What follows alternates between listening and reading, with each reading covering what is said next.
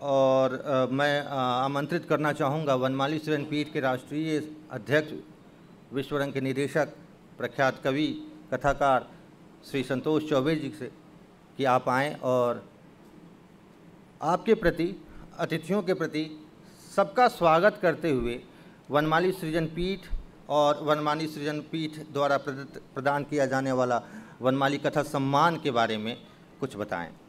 श्री संतोष चौबे जी।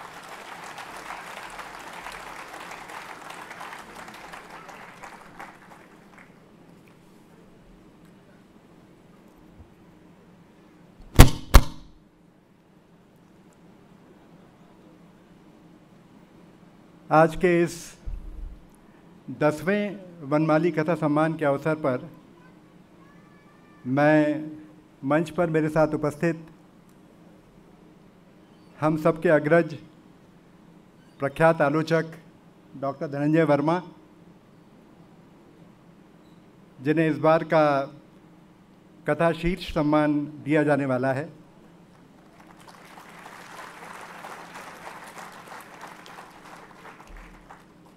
उन्हीं के साथ वनमाली कथा सम्मान से पूर्व में सम्मानित देश की अत्यंत महत्वपूर्ण कथाकार ममता कालिया जी, जो हमारे यहाँ पहले भी आ चुकी हैं, विश्वविद्यालय में भी आ चुकी हैं, उनका बहुत स्वागत करता हूँ।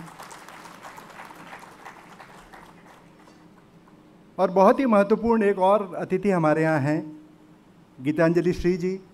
आप सभी जो बुकर अवार्ड के बारे में जानते हैं, बुकर पुरस्कार के बारे में जानते हैं। आपको ये जान के बहुत ही सुखद अनुभूति होगी कि गीतांजलि के उपन्यास को इस बार बुकर के लिए शॉर्टलिस्ट किया गया है और ये हम सब के लिए बहुत ही गौरव का विषय है, क्योंकि हिंदी में ये पहली बार हो रहा है कि हिंदी के एक कथाकार उपन्यासकार को प्रख्यात, प्रतिष्ठित बुकर अवार्ड के लिए भी शॉर्टलिस्ट किया गया है। और क्योंकि वो वनमाली कथा सम्मान के लिए यहाँ पधारी हैं तो हमारी अनुभूति दुगनी गौरव की हो जाती है।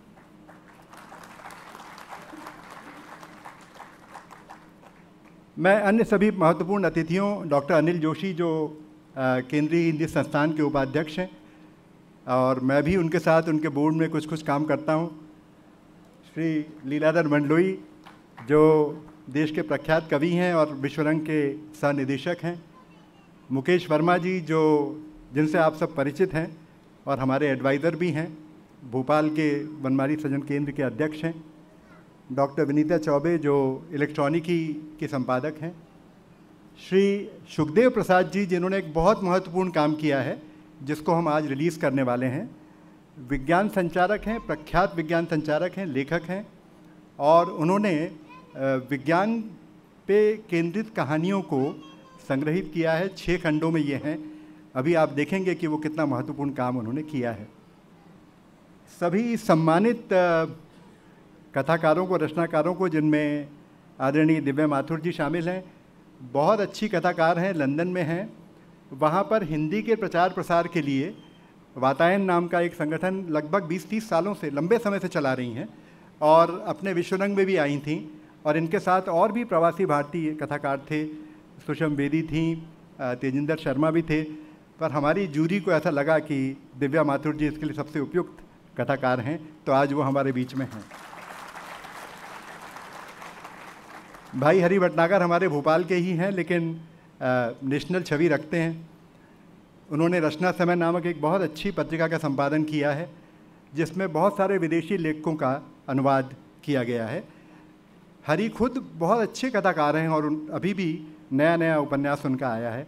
उनका भी हम बहुत स्वागत करते हैं।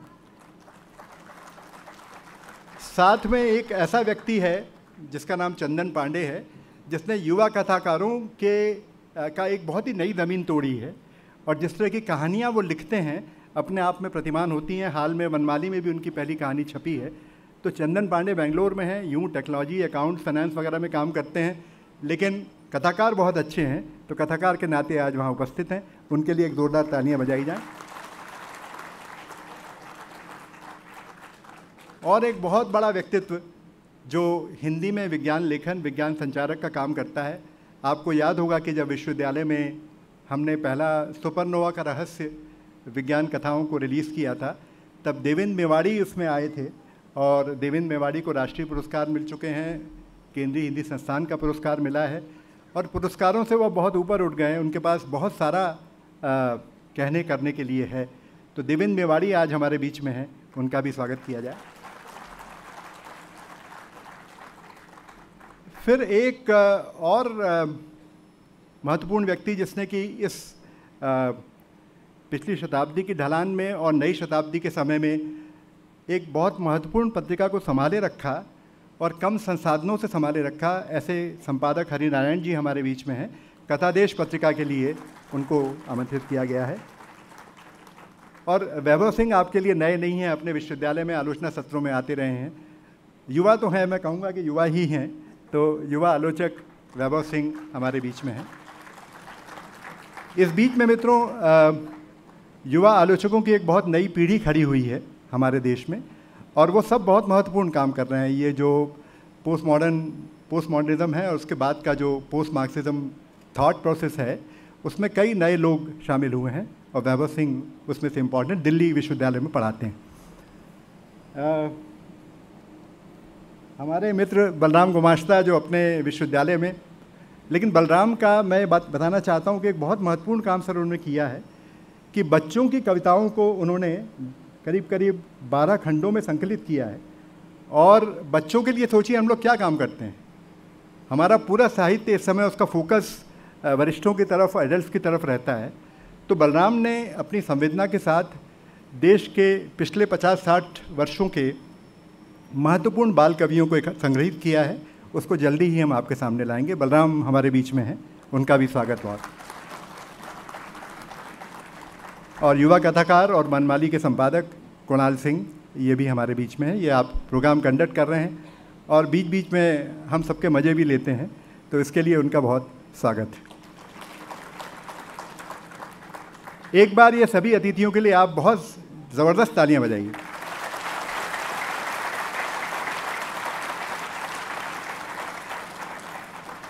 दोस्तों, ये एक ऐसा अवसर है जो हमारी संस्था में दो वर्षों में एक बार आता है और सामने भी ऐसे बहुत सारे लोग बैठे हैं। ये जो तालियाँ आपने बजाई थी उन लोगों के लिए भी थी। डॉक्टर नंदकिशोर आचार्य साहित्य अकेडमी से सम्मानित हैं और विश्वरंग में आए थे। बोलने के लिए गांधी पर बहुत अच्छा काम उनका है। सामने हैं, जितेंद्र श्रीवास्तव इग्नू में हैं और बहुत अच्छे कवि हैं। प्रियदर्शन सामने बैठे हुए हैं तो उनका भी बहुत स्वागत है। और बहुत शशांक हमारे गहरे मित्र कथाकार हैं। उनकी किताब पर अभी भी मैंने भूमिका लिखी है, बहुत अच्छा काम उन्होंने किया। तो ये सब लोगों के लिए भी हम लोग एक बार ताली बजाएँ, इन सबका भी बहुत स्वागत है।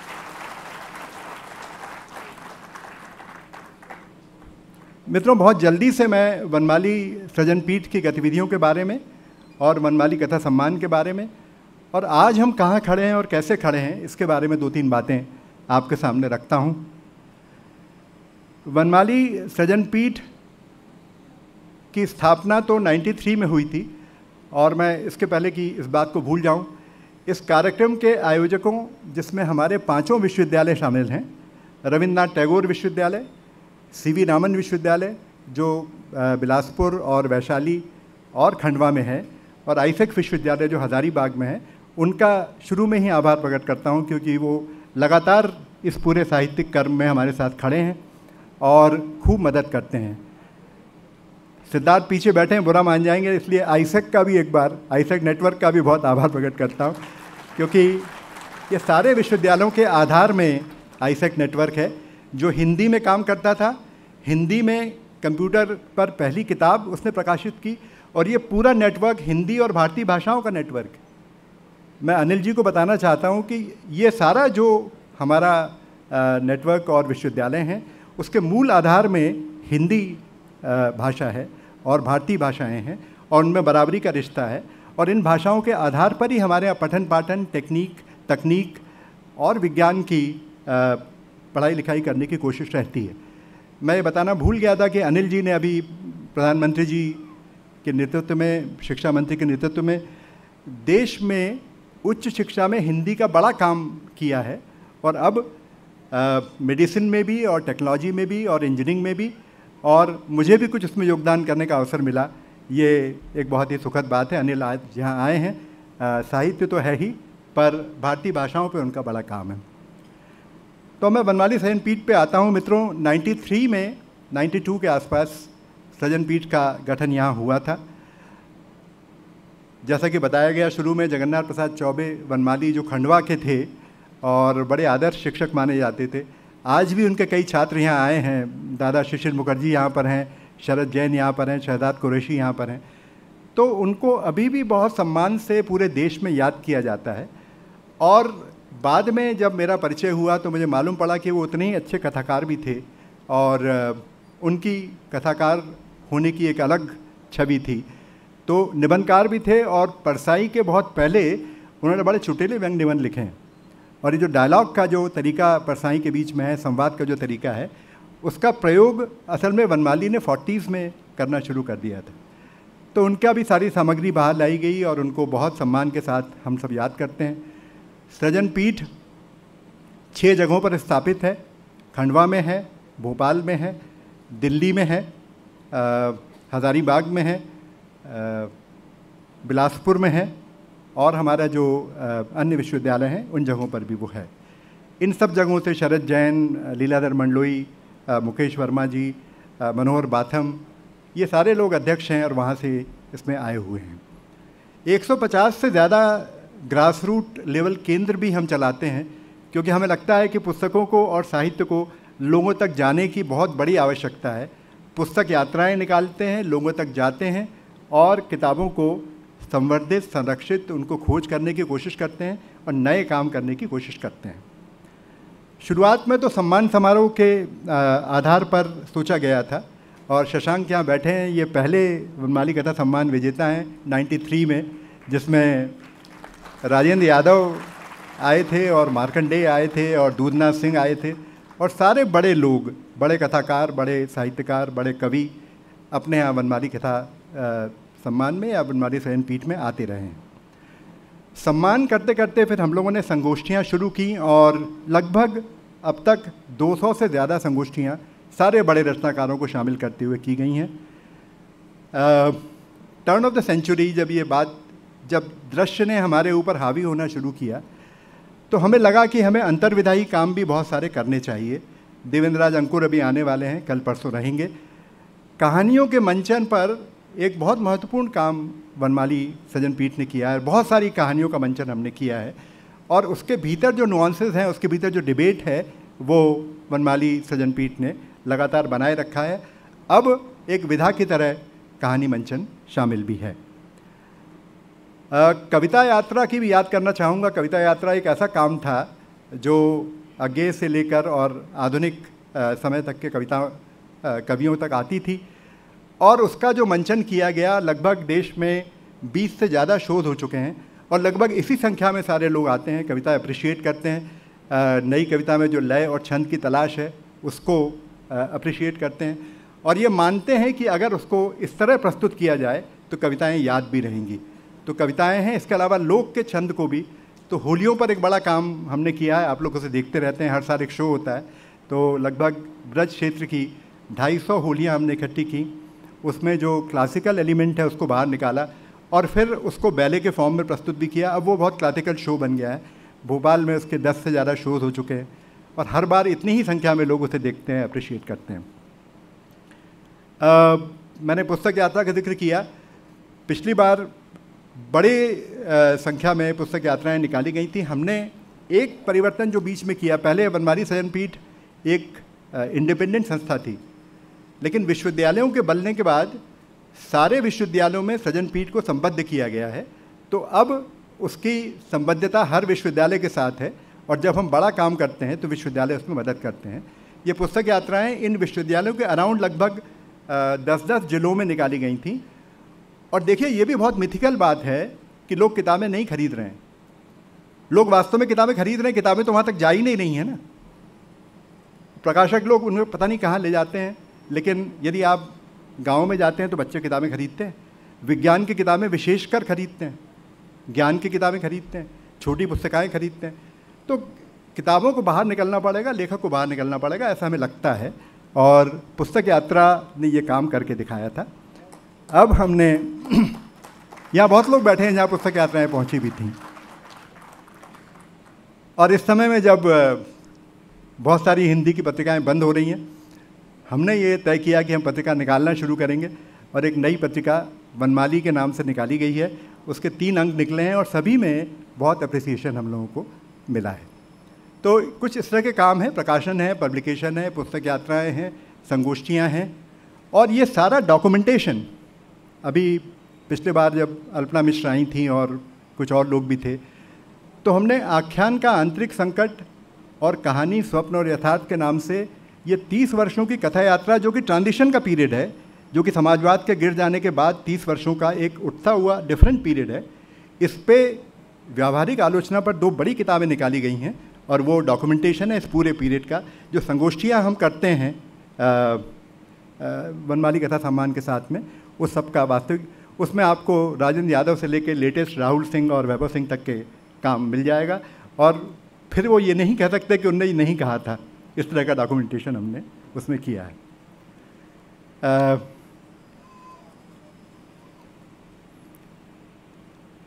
मित्रों मैं कुछ दस्तावेजों का ज़िक्र करके अपनी बात समाप्त करूँगा। 2015 तक आते आते जबकि एक तरह से वैचारिक आधार बदल रहे थे जब नई शताब्दी हो रही थी और तकनीक सामने आ गई थी।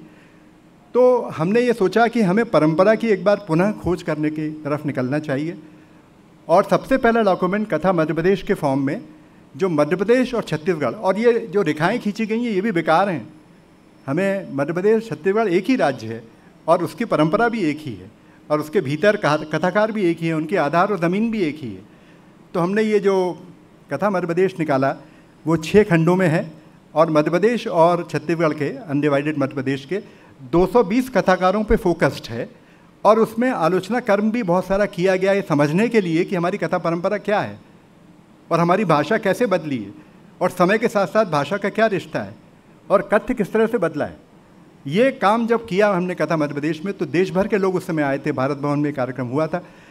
सबने कहा कि साहब आप बिहार क्यों नहीं करते और आप उत्तर प्रदेश क्यों नहीं करते और आप बाकी राज्य क्यों नहीं करते? तो फिर हमने मतलब मुकेश वर्मा जी ने बलराम जी ने हम सबने तय किया महेंद्र गगन की याद करना चाहूँगा। कथा देश की योजना बनाई जो 18 खंडों में देश भर के लगभग 650 कथाकारों को एकत्र करता है और उसी तरह से आलोचना दृष्टि रखता है। धनंजय वर्मा का की, की आर्टिकल उसके अंदर है। तो ये 18 खंडों का जो काम है जम्मू कश्मीर से लेकर और केरल तक हिंदी में जो लोग वहाँ लिखते हैं उन सबको शामिल किया गया और ये 18 खंडों का काम हमने किया। कथा देश और कथा मध्य प्रदेश, इसमें शामिल था।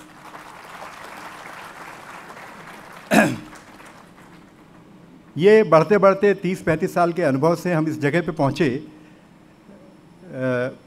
कि हिंदी के सामने आज इतनी बड़ी अपॉर्चुनिटी और अवसर है कि वो वैश्विक भाषा बन सकती, बनी ही हुई है। और टेक्नोलॉजी ने अब ये संभव किया है। फॉन्ट्स इस तरह के आ गए हैं जो पहले दिक्कत थी कि हम अंतर्राष्ट्रीय कम्युनिकेशन कर सकते हैं।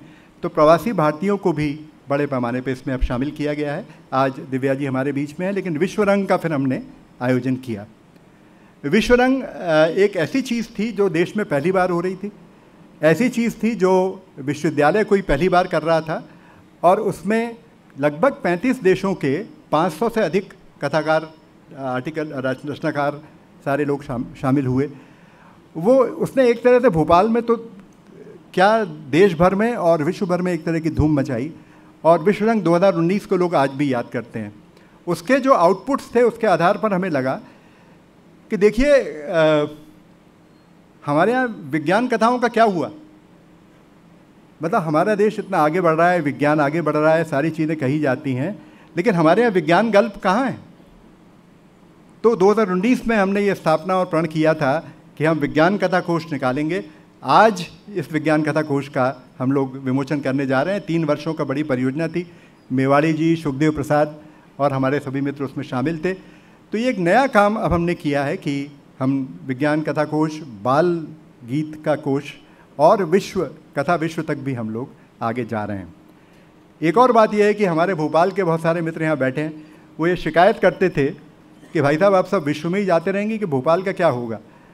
तो हमने एक कथा भोपाल भी अब बनाया है, चार खंडों में है।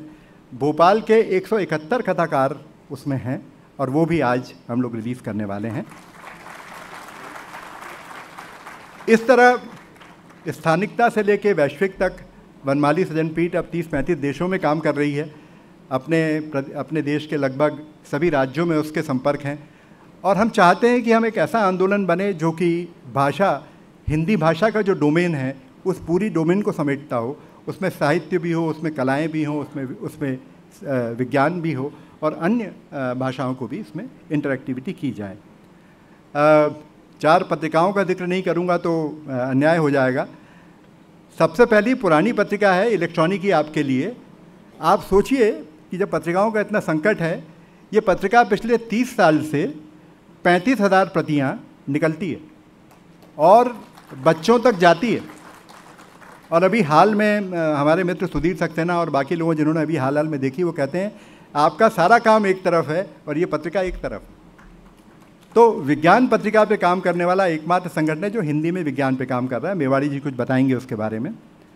दूसरा वनमाली पत्रिका अभी शुरू हुई है, साहित्य की पत्रिका है, दो तीन अंक निकले हैं, लेकिन उससे भारी प्रतिसाद मिल रहा है। और एक बड़ा काम वैश्विक संदर्भ में किया गया, लीलाधर मंडलोई विश्व रंग नामक पत्रिका को संचालित करते हैं। चार अंक उसके निकले हैं। जो पेंटिंग वाला अंक है, वो बहुत ही खूबसूरत था। अशोक भौमिक सामने बैठे हैं। अशोक भौमिक का उसमें बड़ा योगदान था। और ऐसे विविध विषयों को जो वैश्विक संदर्भ रखते हैं, इसको, इन पत्रिकाओं को वहाँ निकाला गया है। और चौथी पत्रिका रंग संवाद है, जो कलाओं पर केंद्रित है। वो भी लगातार दस साल से त्रैमासिक रूप से निकल रही है। मित्रों अंत में एक दो बातें कह के समाप्त करता हूँ। जब हम लोग नब्बे के दशक में आ, कहानी पर बात करते थे तो हम लोग तीन चुनौतियों की बात करते थे। एक हम कहते थे कि भाई समाजवाद का आधार समाप्त हो गया जो वैचारिक आधार था लेखकों के सामने तो उसका अब क्या होगा? और एक वैक्यूम जैसा क्रिएट होता एक चुनौती वो थी। दूसरी चुनौती जो थी वो भाषा की चुनौती थी क्योंकि भाषा को दृश्य ने घेर लिया था और भाषा को जिस तरह से टेक्नोलॉजी यूज़ कर रही थी, जिसमें इंग्लिश वगैरह शामिल थी तो भाषा का जो ट्रीटमेंट है, उसका क्या किया जाएगा? और तीसरी बात स्वयं दृश्य की थी, क्योंकि दृश्य कदर हावी हो गया था कि उसके बाद क्या शब्द की सत्ता बची रहेगी, क्या शब्द उस पर काम करेगा कि नहीं करेगा? ये एक तीन बड़ी चुनौतियाँ थीं। इन पर हम लोगों ने बहुत सारी गोष्ठियाँ की, रास्ते निकाले। अंत में विनोद शाही ने स्वप्न और यथार्थ, स्वप्न और फैंटेसी, स्वप्न और कथा, इस तरह की एक आलोचना विमर्श निकाला है, जिसमें कि हम लोग सभी अब इस बीच में हैं। पिछली बार हमारी गोष्ठी कहानी स्वप्न यथार्थ पे थी, इस बार दृश्य का स्थान क्या होगा उस पर है। लेकिन मित्रों, अब बात जो है बिल्कुल बदल गई। कोविड के आने के बाद और सेपियंस नामक जो किताब है उसके आने के बाद अब सवाल यह है कि क्या आदमी खुद बचा रहेगा कि नहीं बचा रहेगा? क्या बायोटेक्नोलॉजी और बायो इन्फॉर्मेटिक्स को मिल मिलकर ऐसे क्लोनिंग की जा सके कि क्या नए आदमी का निर्माण ही किया कर लिया जाएगा? उस केस में कला साहित्य और संस्कृति का क्या होगा? यानी विमर्श का लेवल एकदम बदल गया पिछले पाँच सात सालों में और मुझे लगता है कि आगामी समय में हमको ये सारी चुनौतियों को भी देखना पड़ेगा। आ, मुझे लगता है कि लेखक ज़रूर इससे पार पाएगा। हमारे हिसाब से हम बार बार बात करते हैं कि साहित्यकारों के पास एक वैज्ञानिक समझ होनी चाहिए और वैज्ञानिकों के पास एक साहित्यिक संवेदना होनी चाहिए, तभी हम एक संतुलित मनुष्य बना सकते हैं। तो इसी तरह का प्रयास वनमाली सजन पीठ का है। मैंने थोड़ा वक्त ज़्यादा लिया क्योंकि बहुत दिनों बाद कथा सम्मान हो रहा है, पर सारी अवधारणाओं को स्पष्ट किया। मैं एक बार पुनः हमारे सभी अतिथियों का, हमारे सभी कथाकारों का, रचनाकारों का, जो यहाँ बैठे हैं या सामने बैठे हैं और बहुत सारी फैकल्टी के मेंबर्स हमारे हैं, छात्र भी आए हैं बड़ी संख्या में। आप सबका बहुत बहुत स्वागत। अभी आप इन सब लोगों के बारे में और सुनेंगे और इनसे भी सुनेंगे तो आपको बहुत मज़ा आएगा। मैं आप सबका भी बहुत स्वागत करता हूँ। धन्यवाद।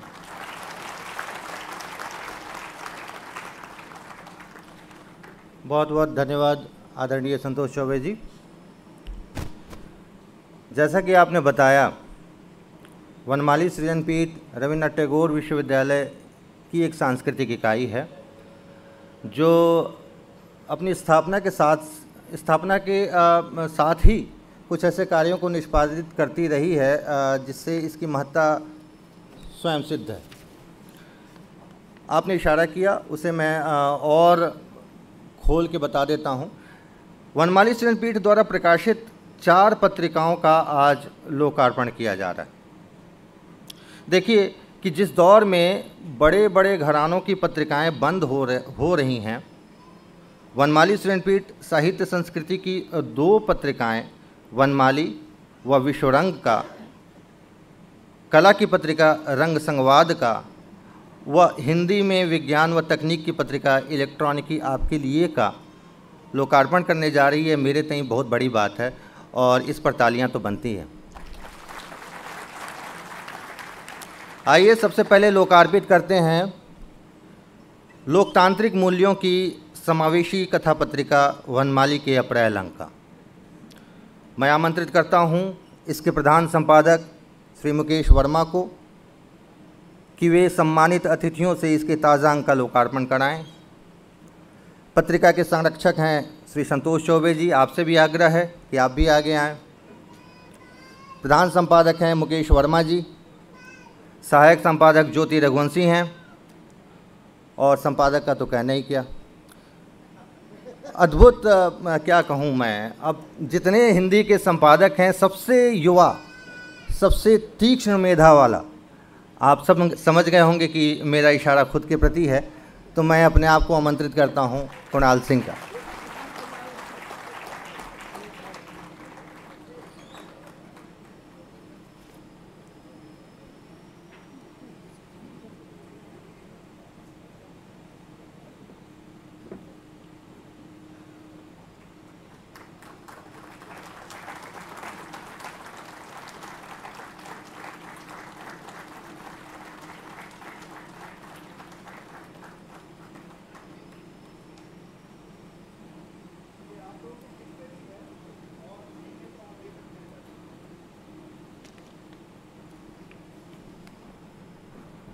आप लोगों के किट में भी इसे रखा गया है, इसके ताज़ा अंक को रखा गया है। आप इसे कृपया देखें और मुझे सूचित करें कि कैसी पत्रिका है, मेरा प्रयास कैसा है। दूसरी पत्रिका, इलेक्ट्रॉनिक ही आपके लिए, जिसके बारे में संतोष चौबे जी ने बहुत कुछ बताया। इसे ऐसे फ्लैट तरीके से नहीं बताना चाहिए था, ऐसे बताना चाहिए था कि आपको यह जानकर आश्चर्य होगा कि हिंदी में एक पत्रिका है जो पूरी तरह से विज्ञान व तकनीकी लेखन के लिए समर्पित है। आपको यह जानकर आश्चर्य होगा कि ऐसी पत्रिका मासिक है। आपको यह जानकर आश्चर्य होगा कि ऐसी पत्रिका विगत पाँच, दस नहीं, बल्कि उन्होंने तीस कहा। मैं सुधारते हुए कहूँगा कि विगत चौंतीस वर्षों से निकल रही है। यह कार्य किया है इलेक्ट्रॉनिक आपके लिए कि संपादक डॉक्टर विनीता चौबे जी ने। मैं आमंत्रित करता हूँ डॉक्टर विनीता चौबे जी को। कि वे सम्मानित अतिथियों से इसके ताज़ा अंक का लोकार्पण कराएँ। इस पत्रिका के भी प्रधान संपादक श्री संतोष चौबे जी हैं। संपादक हैं डॉक्टर विनीता चौबे और सहायक संपादक हैं मोहन सगोरिया जी। आपसे भी आग्रह है कि कृपया आए मंच पर। सहायक संपादक मोहन सगोरिया जी हैं। रविंद्र जैन व मनीष श्रीवास्तव जी भी हैं। अब इसे यूँ कहें कि आपको यह जानकर भी आश्चर्य होना चाहिए कि इस पत्रिका को राष्ट्रीय राजभाषा शील्ड सम्मान से रामेश्वर गुरु पुरस्कार से, भारतेंदु पुरस्कार से व सारस्वत सम्मान से सम्मानित किया जा चुका है। इलेक्ट्रॉनिकी आपके लिए।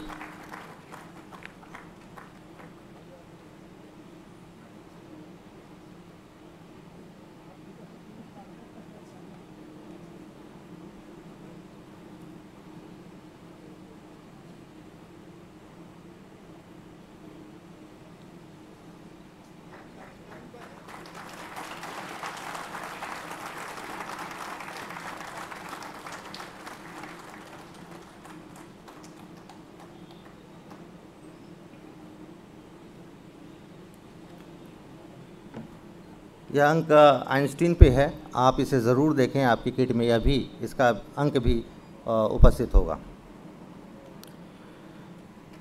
तीसरी पत्रिका विश्वरंग हमारे यहाँ से साहित्य एवं संस्कृति की त्रैमासिक पत्रिका विश्वरंग का प्रकाशन भी किया जाता है। मैं आमंत्रित करता हूँ इसके संपादक श्री लीलाधर मडलोई जी को कि वे इसके ताज़ा अंक, प्रवासी कथा साहित्य पर केंद्रित है, उसका लोकार्पण सम्मानित अतिथियों से कराएँ।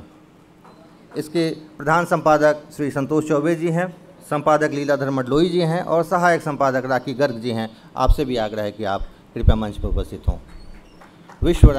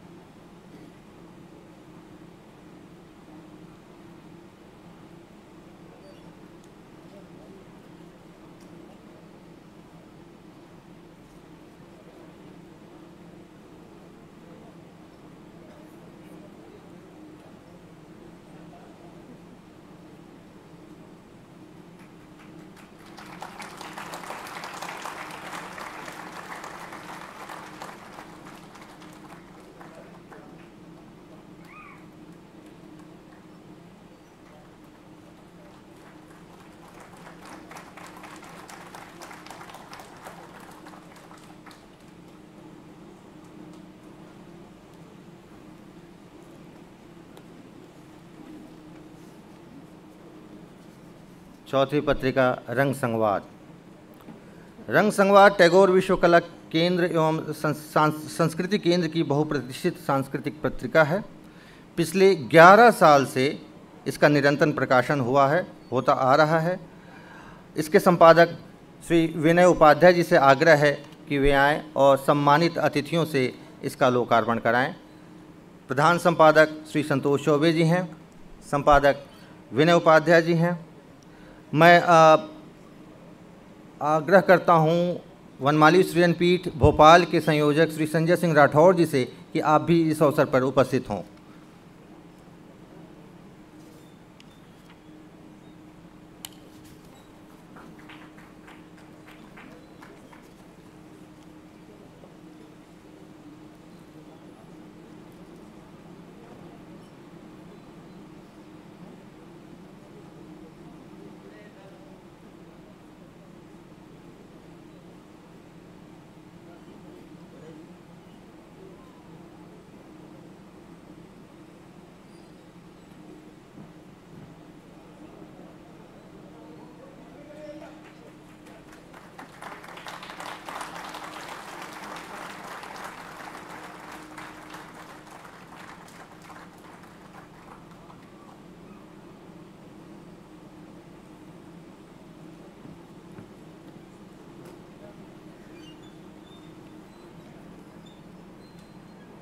परियोजना के स्तर पर वनमाली सृजन पीठ ने, जैसा कि राष्ट्रीय अध्यक्ष संतोष चौबे जी ने बताया कि अविभाजित मध्य प्रदेश के कथाकारों का एक कोष छह खंडों में कथा मध्य प्रदेश नाम से प्रकाशित किया है।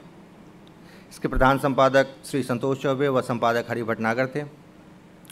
हिंदी कथाकारों के एक वृहद कोष 18 खंडों में कथादेश का प्रकाशन किया है। इसके प्रधान संपादक श्री संतोष चौबे और संपादक मुकेश वर्मा जी थे। और अब एकमुश्त दो कोषों का आज लोकार्पण किया जाएगा।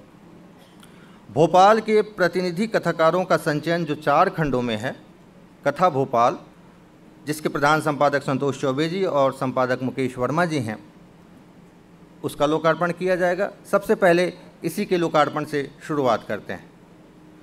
मैं आग्रह करता हूँ ज्योति रघुवंशी जी से कथा भोपाल में सहायक संपादक रही हैं। चार खंडों में समायोजित कथा भोपाल। जैसा कि चौबे जी बता रहे थे कि इसमें 171 भोपाल के कथाकार शामिल हैं। 171 नहीं, एक सौ सत्तासी कथाकार शामिल हैं। यह परियोजना हमारे लिए, हम भोपाल वासियों के लिए ख़ास है। यह स्थानिकता का विश्वरंग है। आपको यह जानकर आश्चर्य होगा कि कुल छह माह के रिकॉर्ड समय में इस परियोजना को संपन्न किया गया। आप लोग अपनी हथेलियों को एक बार और कष्ट दें। आप लोग हौसला दे रहे हैं प्रधान संपादक संतोष चौबे को उनके निर्देशन और सामग्रिक संपादन के लिए, संपादक मुकेश वर्मा को उनके संपादन कौशल के लिए और सहायक संपादक ज्योति रघुवंशी को उनकी मेहनत व लगन के लिए मंचस्थ अतिथियों से आग्रह है कि वे कथा भोपाल का लोकार्पण करें। विज्ञान कथा कोष जिसके बारे में चौबे जी बता चुके हैं, कथा भोपाल जो भोपाल वासियों के लिए ख़ास था तो विज्ञान कथा कोश हिंदी के लिए ख़ास है। विज्ञान कथाओं का एक पूरा संसार है, जिससे मुख्य धारा के लोग अब तक एक तरह से अपरिचित हैं। उसकी पूरी एक परंपरा है जो अपने आप में उतनी ही मज़बूत और समृद्ध है जितनी कि मुख्य धारा की अन्य विधाओं की परंपरा। हिंदी में विज्ञान कथाओं को लेकर इतने विशाल स्तर पर होने वाला यह पहला काम है। और इसे संभव किया है प्रधान संपादक संतोष चौबे, संपादक सुखदेव प्रसाद व सहायक संपादक मोहन सगोरिया जी ने। आप इस तरह की हौसला अफजाई के लिए एक बार पुनः तालियाँ बजाएँ। मंचस्थ रचनाकारों से अनुरोध है कि विज्ञान कथा कोश के छह खंडों का लोकार्पण करें।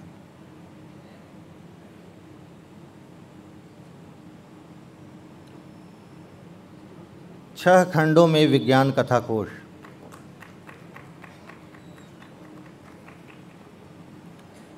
संपादक सुखदेव प्रसाद जी, प्रधान संपादक संतोष चौबे जी व मोहन सगोरिया जी सहायक संपादक आपसे भी आग्रह है कि कृपया मंच पर उपस्थित हों।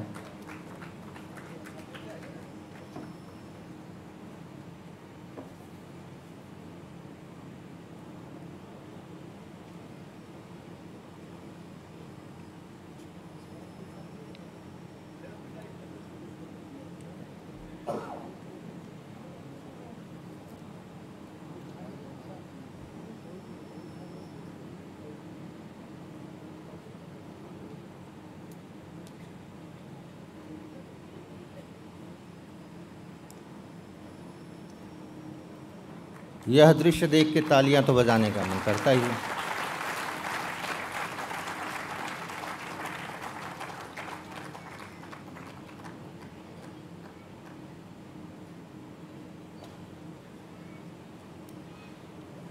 ये लोकार्पण चार पत्रिकाओं और दो कोषों का लोकार्पण संपन्न हुआ।